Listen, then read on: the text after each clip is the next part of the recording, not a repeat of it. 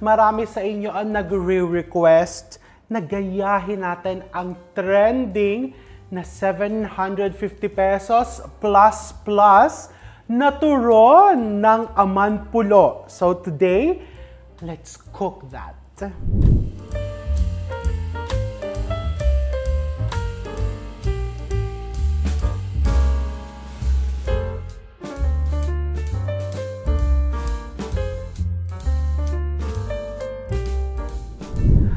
Okay, first, gawin natin yung lavender ice cream. So, I just have here vanilla ice cream. This is just good vanilla ice cream. Kung anong brand ng ice cream ang type mong gamitin, nasa sayo.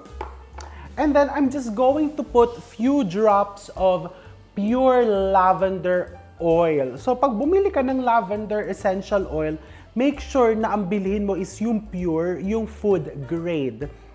So, you just put few drops. Ako, I just put around mga 5 to 6 drops of pure lavender oil.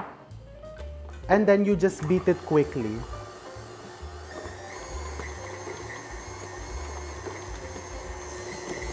Mm, amoy na. Let me try it.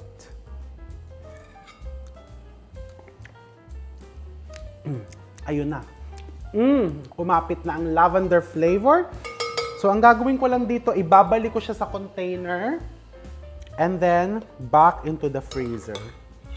Wala naman akong gustong patunayan, pero by replicating the recipe or the idea, makikita natin kung bakit nga ba siya naging 750 pesos plus plus. Makikita nyo, simple lang siyang gawin, pero kasi ako as a chef, as a restaurateur, as a foodie, naniniwala ako sa kasabihan na less is more.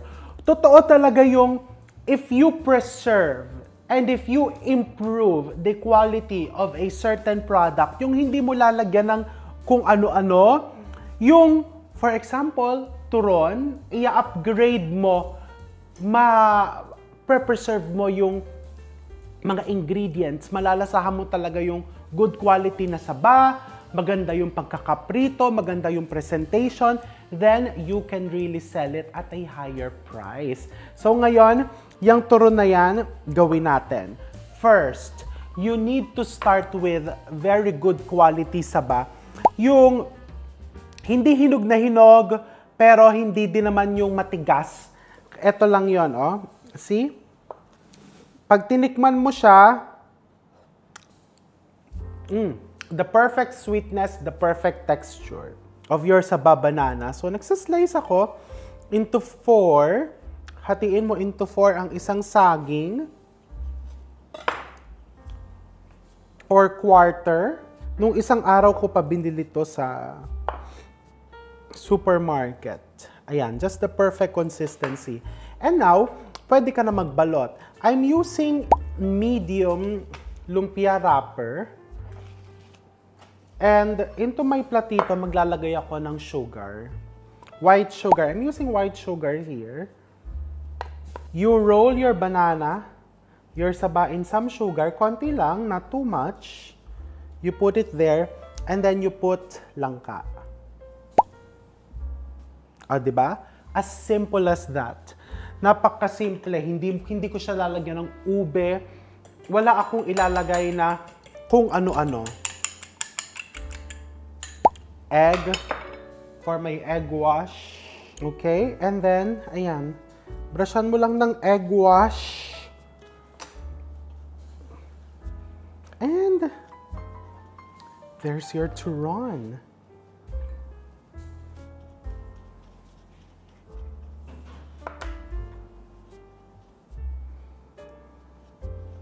Okay, one. And we continue. Okay? You have to make sure na pantay-pantay same size, and the saba has to be very consistent yung pagkakahinog. Kung kailangan bilangin mo yung araw ng pagpapahinog mo dun sa saba, bilangin mo. Kasi sa totoo lang, ang price, nakakapag-dictate tayo ng presyo ng pagkain. Halimbawa, pag sinabi, ay, bakit naman ang mahal dyan sa steakhouse na yan? Makakakain naman ako ng steak na sizzling, 99 pesos. Unlimited rice pa, unlimited gravy. But how come some steakhouse restaurants charge as much as 8,000 pesos per steak? Kasi nga po, iba yung klase ng baka na ginagamit, iba yung ambience, iba yung consistency ng product, 'di ba? Iba yung quality ng service. Kaya nagmamahal ang certain products. So today, again, uulitin ko, wala akong gustong panindigan. I just want to show you kung paano tayo makakapag-charge ng mas mataas para sa isang produkto dahil sa quality, sa consistency, sa appearance ng produkto. And syempre, yung ambience din. Binabayaran din naman natin yung ambience. And yung pangalan din.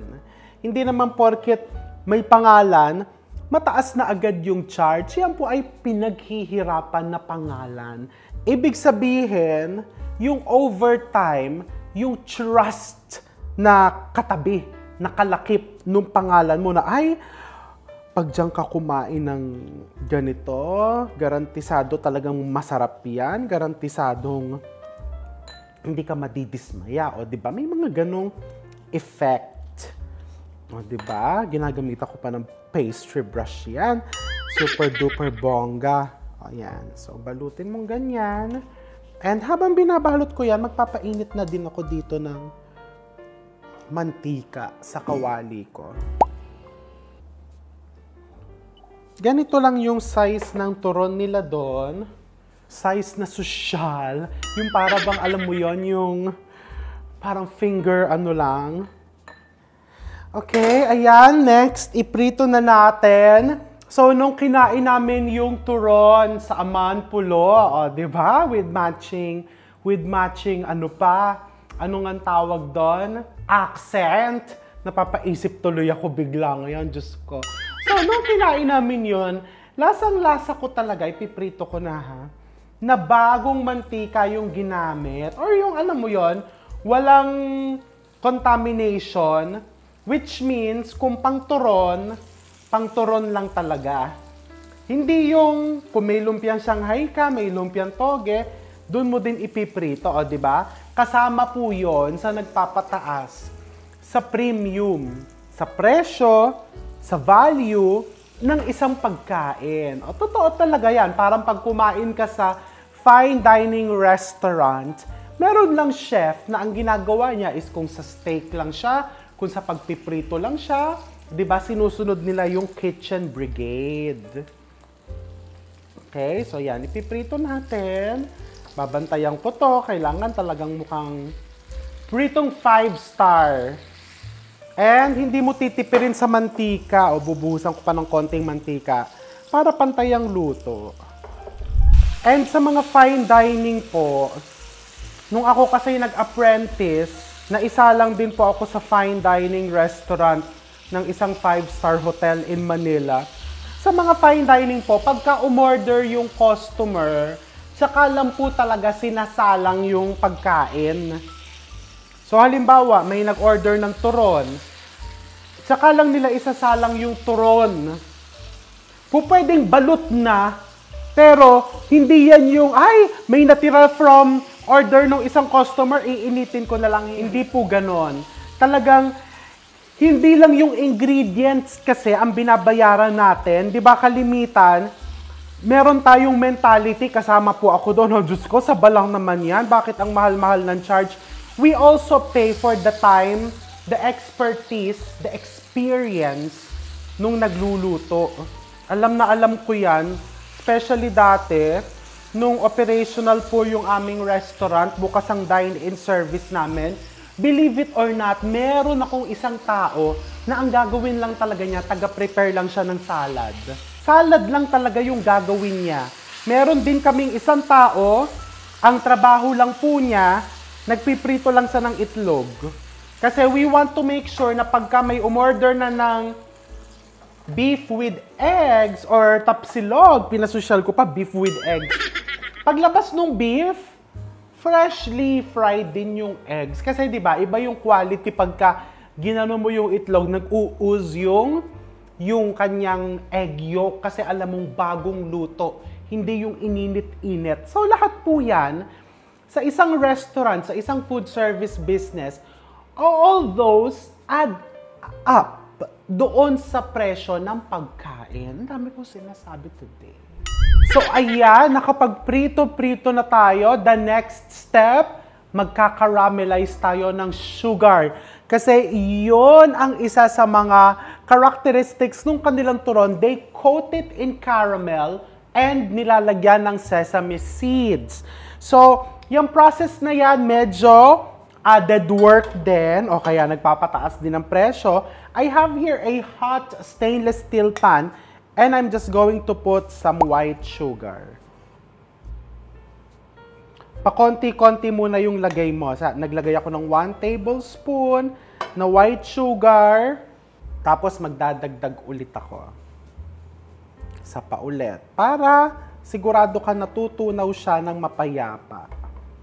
May ganun pa, di ba? Yes. We call this dry caramel. This technique is the dry caramel technique. Mm. Okay, put a bit of water, just a bit, not too much.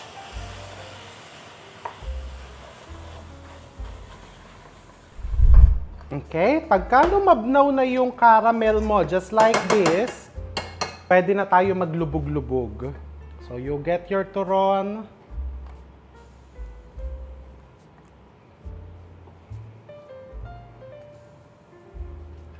Dip it like that, sesame seeds.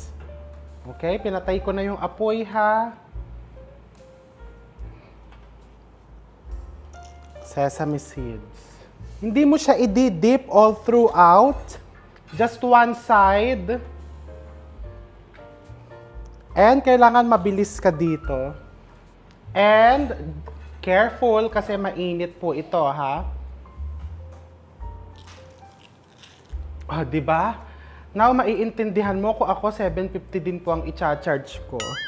At pag nag-charge ako, ng pinapawisan ako.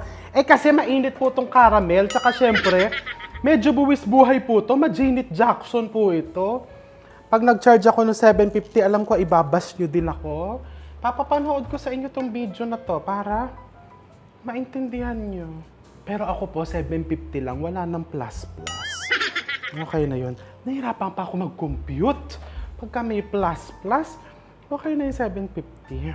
Ang gusto lang natin na plus plus is plus 1! Plus 1! And may isa ditong walang plus 1. Tapat mo camera sa kanya. Tapat mo. Eh kasi aman pulo vlog eh. Para tignan mo mukha mag-aaman pulo ka. Halika dito. Punta ka dito. Dali. Ah, kasi feeling mo nasa aman pulo ka. Pasintabi po dun sa mga may bata. Hawakan mo to. so, ayan, ipe-plate ko muna. Iple-plate ko muna. Girl, magkape ka. Kasi nagutom ako, gusto ko ng turon. Iple-plate ko muna, okay? Tapos, I'll, I'll be back. So, eto na yung, ay, mainit. Iple-plate natin. I think kaya ko pang gumawa ng isa pa. Pagbabayarin kita ng 750. Mm, ayan. Sige, girl. Come back po pag may dala na po kayong 750, ha? Mag-plate lang po tayo. Oh, ayan. Pine-plate ko na. So, ito na yung ating turon. Alaaman pulo. Diba? Mm. Ah, see? Mm. Bongaciousness. Ngayon, meron ako ditong, teka, nasa ng mga kutsara ko? Ito pala yan. Yung ice cream, ipapatong ko siya sa pistachio. Yung sa amanpulo kasi, sa butter cookies po nila pinatong. Aba, eh tayo, mas social tayo. Patong natin sa pistachio. Yan. And, air-flown charot Air-flown orchid from Thailand. Charot lang. Oh, di ba? Ikaw ba, magbabayad ka ba ng 750 pesos for this? Ikaw, magbabayad ka? Halika dito. Yes, I will. You will? Halika. Yung presentation. Oh, di ba? Look at the presentation. Very bungacious. Bungacious, di ba? Oh. Ganyan lang siya kadaling gawin. Nagkapakapaso ako, nagbalot ako, nagkaramel ako, namitas ako ng orchid, gumawa pa ako ng ice cream. Kaya siya 750 pesos and you don't deserve this. you only deserve this. So take this. I want this. No, dear. You haven't made it. I deserve the best. You don't deserve the best. you don't deserve this. Deserve po ba niya to? Lapit ka dito. Deserve po ba niya to? Deserve. Sumagot po kayo and tignan natin kung ipapatikim ko to sa kanya. Titikman ko lang. Gusto ko lang tikman. O, tikman mo na. Ano? Pwede ko itong guluhin? Mm-mm. Sure. Buhay mo nga, ginugulo mo eh. Yan pa ba? Kailan ko kakainin ice? Dapat gold ang kutsara mo. Mm. Eh wala, ko na eh. Okay na to. Mainit pa pala. Mm. Kami lang ka. Yeah. Nga. Diba? O parang ka natin naka- nakarating na aman po, Oo nga. Kahit na bawal ka doon. Bawal. No pets allowed ba to? Okay lang. Mm. Ganda pa rin yung lasa ng 750. Ganyan ang lasa ng you've made it. Mm. So I made it. Hindi pa, hindi mo nilalagyan ng ice cream eh. Let's try. Mm. Mm. Ang sarap. I just Sarap. Diba? Kasi, o bakit siya naging special sa, pa- sa paningin mo? Or sa palagay mo? Ingredients. Guano orchid! Ah, diba? It, it's, it's all the experience. Yeah, that's true. 'Di ba? Kahit na sabihin mong saba lang siya, pangbalot lang ng ng lumpia, yung experience mo na nandun yung bulaklak, yung ice cream, the plating, The plating. the entirety, 'di ba tama? Yung yung buong ano niya, yun yung nagpapa-special sa kanya. Kaya nga you don't deserve it. No, I deserve the best. Mm. It's the experience. 'Di ba? Mm. Agree. Now it's time to pay. Bye. So we're going to see you all soon. So, uh, 'di ba? Kung nag-iipon ka pa lang, wala ka pang budget na pagpun pang, pang, pang Amanpulo or pumupunta ka na ng Amanpulo, namimiss mo yung turon doon, or simply mahilig ka lang sa turon, kagaya ko, na curious ka kung ano ba ang lasa noon, bakit ba pinag-uusapan yun, bakit ba nagte-trending yon? Gumawa ka na nitong bonggang-bonggang turon alamaan, ah, turon alaaman pulo because you deserve to make it and we've made it, di ba? We deserve the best. So we're going to see you all soon. Mm.